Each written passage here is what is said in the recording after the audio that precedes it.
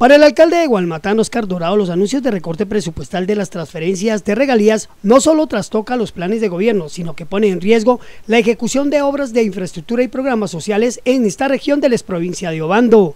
Según el mandatario local. A ver, yo creo que son claras las advertencias que hace el señor procurador y todos los que somos funcionarios públicos sabemos que tenemos que respetar unas normas, unas leyes y los que eh, tenemos claro en esto no tenemos ningún problema pero sí también pedimos al gobierno que afiance mucho más las políticas públicas porque hay muchas exigencias. Simplemente los alcaldes de esta categoría nos limitamos es a cumplir las, eh, las órdenes que hace el gobierno nacional en cuanto a, a diferentes situaciones. Advirtió, sin embargo, que esta situación es muy compleja debido a que los municipios de esta categoría son los que más van a sufrir los recortes.